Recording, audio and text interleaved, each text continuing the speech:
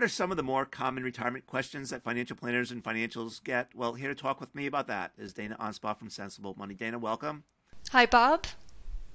Great to have you back, Dana. We are working our way through the 10 most common retirement questions that you receive as a financial planner, financial advisor, and we're on number nine, which goes like this Should I become more conservative with my investment portfolio as I near retirement?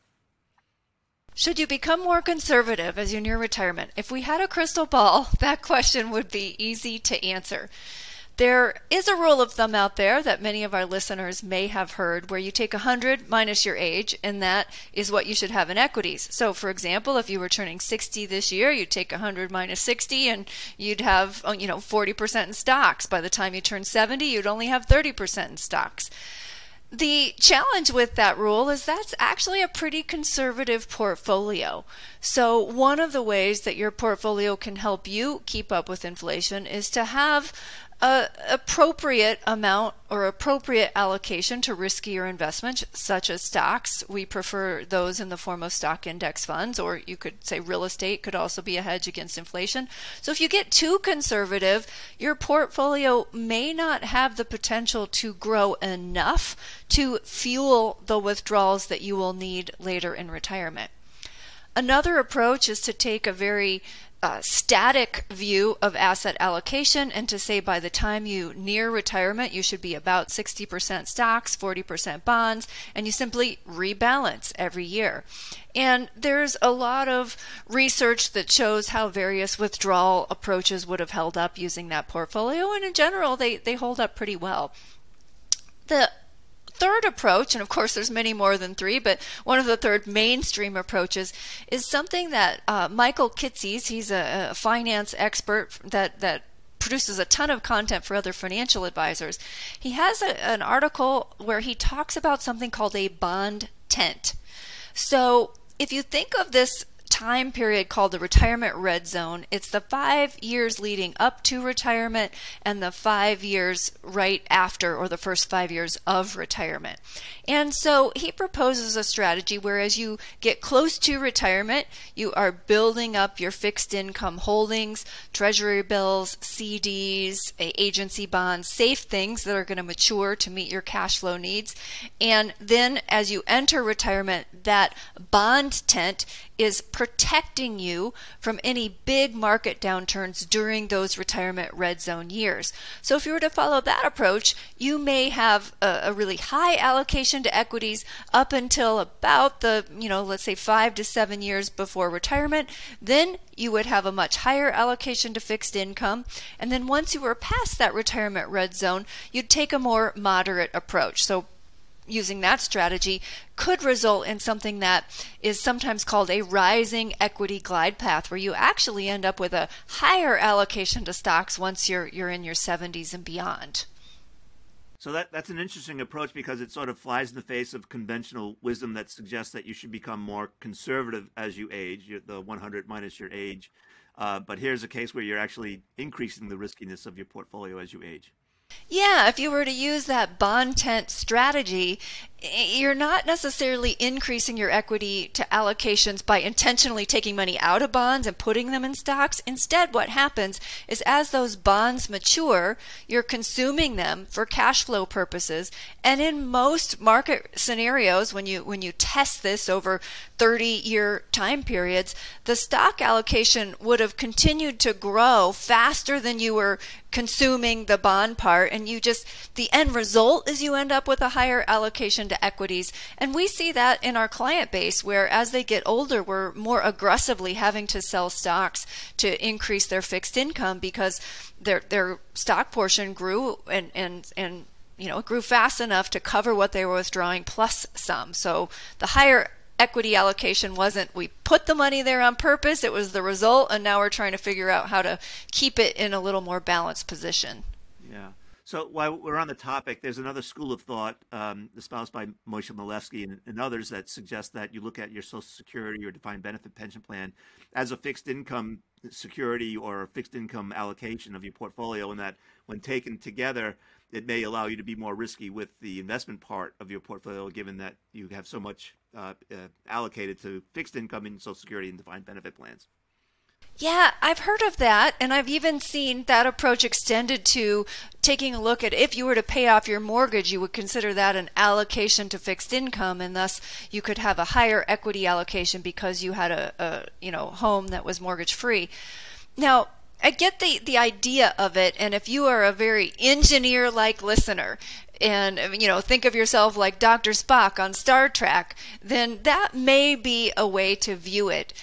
I think most people don't think of their portfolio that way. They look at income coming in like social security and pensions as one thing and they look at their portfolio differently and they would be uncomfortable with a riskier portfolio. Just you know there's a sleep at night factor. When they saw the balances go through bigger swings they just might not feel comfortable with it.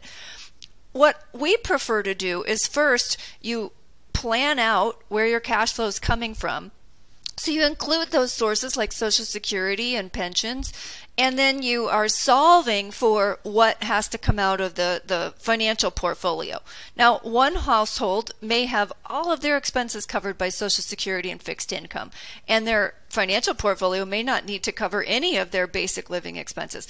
They could have a higher risk tolerance or a higher allocation to equities. But the next household may have Social Security and pension and still need a pretty large percentage of their financial portfolio to cover their expenses. So their allocation to equities would need to be lower. They would need to look at it differently. So I think taking a more customized approach to your household cash flow needs makes more sense than, you know, just saying, well, I have Social Security and fixed income and so I can be more aggressive on the other side. Now, Another way of looking at that, which we learn in the RMA, the Retirement Management Advisor view, is through something called a household balance sheet, where you take the present value of your pensions and your Social Security and all your expenses, and you're creating a ratio, what we call a, a household fundedness ratio, similar calculation to what pension plans do to determine if they are funded or not. And so that can be a way of of I would say including that Social Security and pension in a a much more you know much bigger picture view on on how well your retirement is funded. But it's still not getting down to the nitty gritty of how how should we allocate the remaining financial portfolio. Yeah.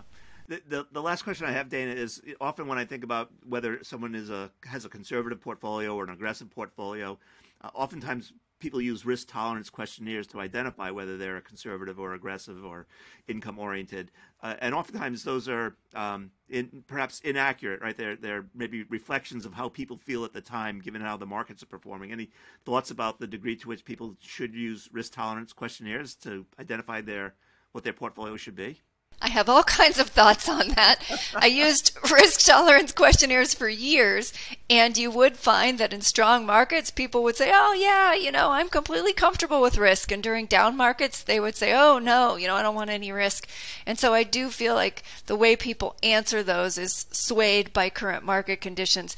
I'm much more a fan of risk capacity, which is measured by an actual financial planning process, meaning, what is your required minimum rate of return?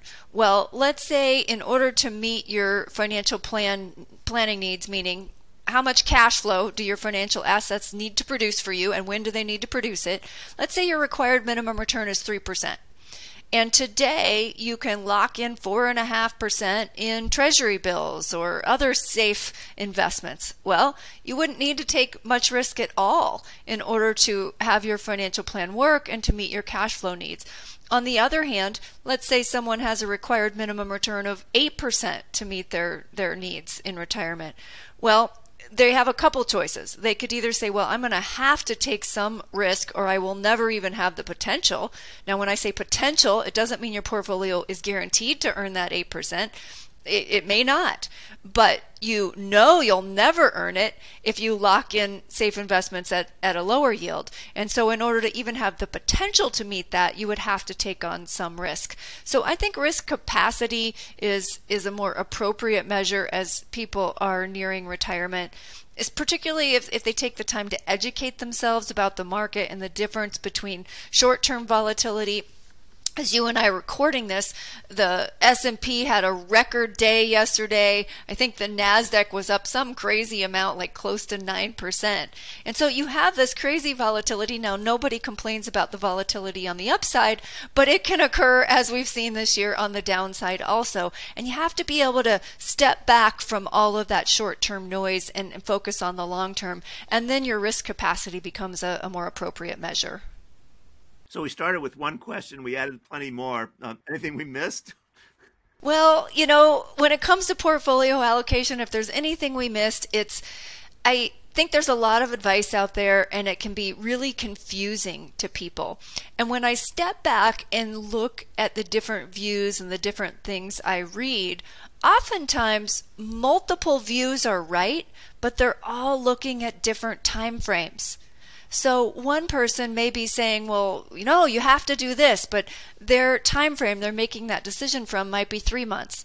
And the next person may have a 1 year time frame. And the next person may be looking at things in terms of a three or a five year time frame and the next person may be giving advice in terms of a 10 year time frame so i think it can help to try to filter all of the various advice that you see by really stepping back and getting clear about you know what is the time frame that the you know the person offering the advice is talking about. And you'll find that multiple uh, you know pieces of advice can all be right depending on which time frame they're they're referring to yeah, so it's a really a matter of what's right for you as opposed to what you're reading. It's uh, it's really focusing on your facts and circumstances.